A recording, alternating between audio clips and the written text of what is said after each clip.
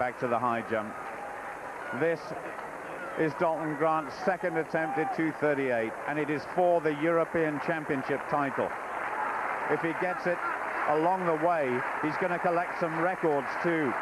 Steve Smith's British record, and equal to Troy Kemp's Commonwealth record, and a new European Championship record. Oh a huge gasp by the crowd. One jump to go. And this really would be the biggest moment of Dalton Grant's high jumping life. He's won medals before, but he's never had the big one at a championship of this level. European indoor champion, World Cup champion, European Cup champion. What's in store for him in the next few moments?